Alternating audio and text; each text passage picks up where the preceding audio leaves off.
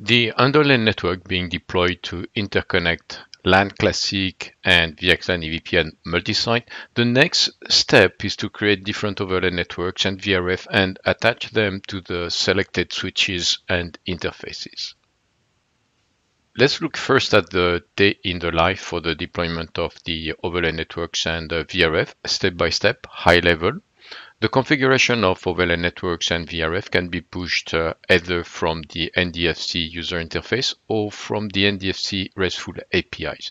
You will cover the RESTful API approach to automate the deployment of uh, overlay networks in the next sections. Regarding the deployment of the network, the first actions from the network page is to select the fabric where you want to create or operate the network create the network and VRF with the overlay parameters, then attach the network to the concerned switches and interfaces. You can always preview the configuration of the network pushed by NDFC to each device if you wish, and you deploy. It uh, generally takes uh, several seconds based on the number of switches and interfaces to which you need to attach the networks. After the networks have been deployed, you can preview the historical uh, deployment per network and per switches. The resource manager continuously tracks for VN IDs and VLAN IDs, so NDFC is always aware of what has been consumed, even when you use your own VLAN ID. NDFC centralized tracking of all deployment, including the overlay networks in the Fabric Builder. To create a network, the scope must be either a standalone fabric, meaning it's uh, not member of any uh, multi-site domain, or a multi-site domain if the fabric belongs to the multi-site domain. Now let's go into the workflow. Select the topology overview of your fabric. You need to select uh, the multi-site domain scope if the overlay network concerns multiple sites. Select uh, the network tab and uh, from the action drop-down menu, create a network add a new network, start with the layer 2 VNI. NDFC provides you the layer 2 VNI that it will consume from its pool configured under the fabric settings. If you prefer, you can use your own VN ID. It's up to you, but recommendation is to leave NDFC to consume the predefined resources automatically. You choose if you want uh, layer 2 only or a layer 2 network with its uh, default gateway in a particular tenant, the VRF. You can give a name for that network or leave the name that comes automatically with NDFC. If you select layer 2 with layer 3, then you need to enter the VRF. Either you create a new one or you reuse an existing VRF. If you need to create a new VRF, at this stage, you can leave NDFC to provide the next layer 3 VNI and VLAN ID from its pool. Give a name for the VRF, or you can use uh, the one given by NDFC. If you are an expert, you can always go to the Advanced tab. And that's it. Your VRF has been created. You can return to the setting of the network. For the VLAN ID, either you enter your VLAN ID of choice or you leave blank and NDFC will fill up the identifier from its pool of uh, VLAN IDs. Enter the default gateway for the VLANs. That is your layer 3 Anycast gateway that will be deployed to all leaf nodes of interest. Optionally, you can also open the Advanced tab uh, if you will. And that's it. Your network and VRF have been uh, created. Now notice that uh, some parameters of the network can be modified afterwards if needed. Okay, let's look at the overlay networks and uh, VRF attachment. Go to the detail view of the concerned fabric and from there open the network tab. Double click on the network you wish to attach to the switches and interfaces Open the Network Attachment tab and select all the switches you wish to attach the network. Edit the overlay network. You need to enable attach if not already enabled. And then select the interfaces. Then go to the next switch and uh, interfaces. Now you can save and repeat the same actions as many times as you have networks to be deployed select uh, the overlay networks and then deploy. and you can preview the configuration if you wish at any time. Okay, so just a reminder for the underlay network infrastructure. You have built a LAN classic, which is attached to a pair of VPC leaf nodes from the VXLAN EVPN Fabric 1. There is a second VXLAN EVPN Fabric 2 interconnected with Fabric 1 using VXLAN EVPN multi-site across a layer 3 network. The goal of this demo is to create two networks, web in blue here and app in yellow, both routed networks belonging to a VRF tenant 1 and attach them to different switches and interfaces across the three data centers, including the classical LAN. Return to the NDFC topology view, enter the MSD scope, open the detail view. There is no VRF, no overlay networks yet created. From the network tab, call the action drop menu and create a network. You can give a name, here web tenant 1. You can specify if this is a layer 2 only network, meaning non-routable. The network you want to create must belong to a VRF tenant 1 that you need to create. Give a name for your VRF, tenant 1. That's all you need to do to create a new VRF. Return to the network web creation. You can leave NDFC to select the VLAN ID from uh, its pool, or you can specify your own VLAN ID. The last parameter to specify is the gateway for that network, the Anycast gateway that will be distributed later on all nodes of interest. Network experts can find additional parameters if needed under the Advanced tab. For this demo, you will keep the network deployment as simple as possible. Basically, the only crucial parameters you need to specify is the gateway. Done. Network web tenant 1 has been created. Repeat the same action for the second network, app tenant 1. The VRF already exists. Enter the VLAN ID. Enter the gateway for that network. Now the two networks for VRF tenant 1 have been created. You want to attach them to the different switches across the different data centers. Select the first network web and expand the window select the Network Attachment tab. Now it's really up to you. For this demo, you select first the border gateways because there is no endpoint attached to these nodes, hence no interface to configure. Consequently, you can do a quick attach for these border gateways. This action actually offers the extension of these two networks across the multi-site domain.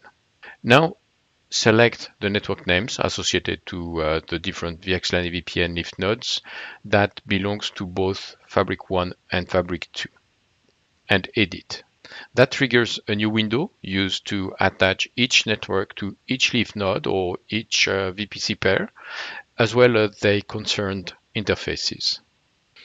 To keep the demo easy to follow, Web network is always attached to the interfaces E1/3 and the app network is always attached to the interfaces E1/4, regardless of switch across any data center. You repeat this attachment for each switch on Fabric 1. Notice the attachment of the network to the port channels of the VPC pair leaf 115 and 116 toward the LAN classic. Then follow the same action for the Fabric 2.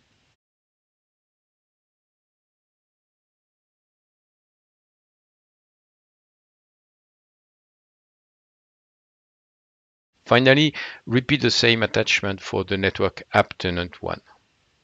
When done, you can select the networks and from the action drop-down menu, do deploy.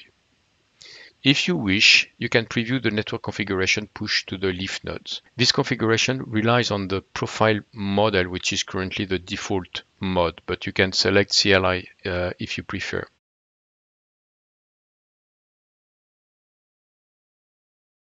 When ready, you can deploy. It will take uh, a minute or so.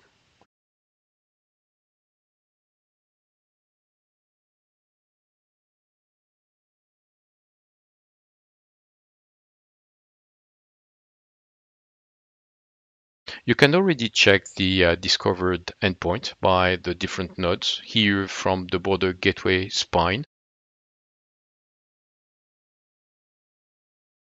You can run the command show L2 route MAC IP all to get all endpoint learned by this leaf node. Endpoint from both networks appear here and uh, all endpoints have been discovered via BGP VPN as there is no local attached host to these border gateways. You can see uh, two endpoints have been learned from the remote site with the next hop being 10.100. something. Now let's have a look at the overlay network connectivity with the endpoint web 100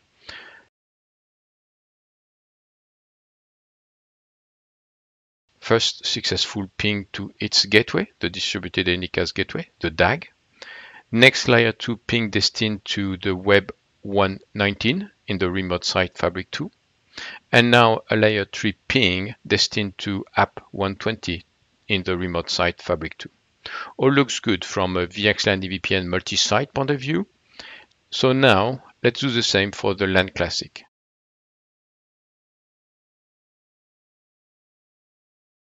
From the LAN Classic, open the detail view. Currently only the default VRF exists, but no network.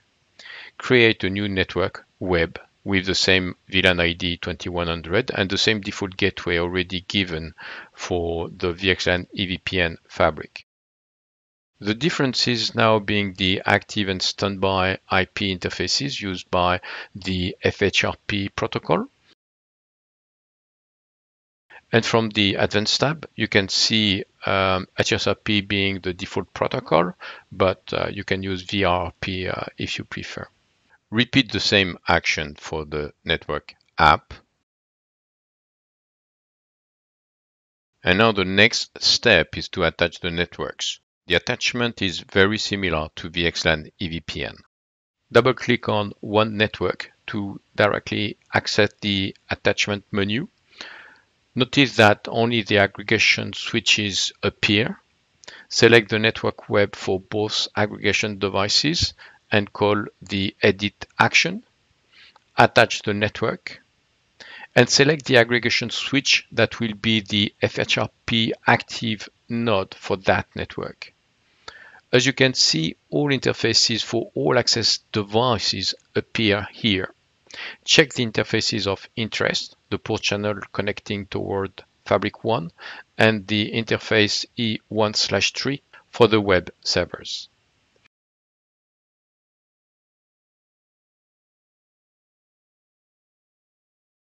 And repeat the same action for the network app.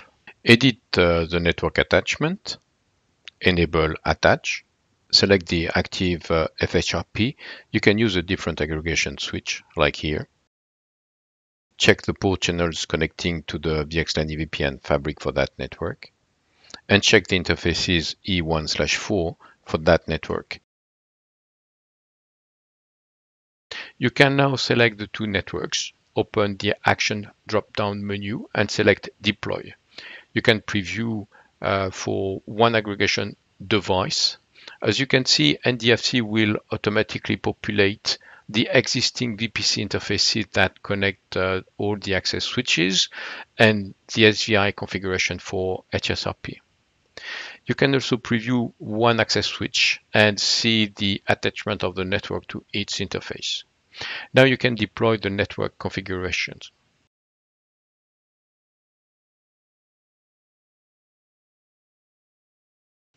From the topology view, you can look at the network icon and you will see the two networks, web and app in green. Green means that they have been attached somewhere. To view the attachment details, you can select, for example, the web network. And green means that the devices have been populated with that specific network. Return to the global topology view and let's check the network reachability uh, between endpoint from LAN Classic and endpoint from the VXLAN EVPN fabrics. So now check that the web 126 can ping its default gateway, the SVI created on the aggregation layer.